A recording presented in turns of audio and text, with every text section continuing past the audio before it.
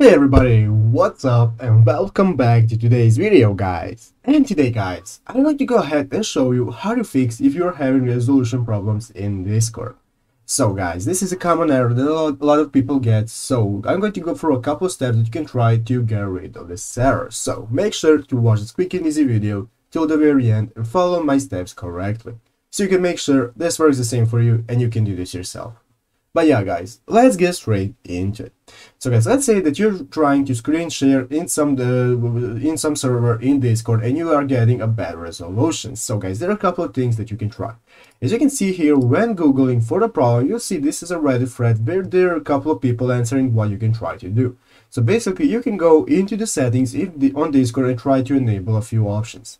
So what we're going to do is go ahead and open up the settings by clicking this option right here called user settings at the bottom of the page.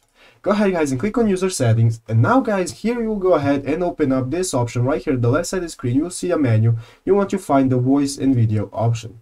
Here you can go ahead and select what kind of options you want. So now what we want to do is go ahead and scroll down until we find uh, this this option right here that we'll find that says quality of service. So guys, go ahead and find quality of service. You can see here you can enable quality of service high packet priority. So basically this will put Discord a high priority when you are screen sharing. So you want to go ahead and enable this and now when you go ahead and screen share, you will usually get a better resolution because Discord is now high priority in your internet.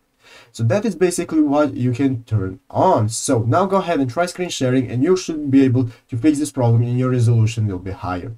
But yeah guys, basically that's what you can do to get to get rid of this error and to try to fix this problem. I hope this video was helpful. If it was, make sure to leave a like and subscribe to the channel. So guys, thank you for watching, take care and bye.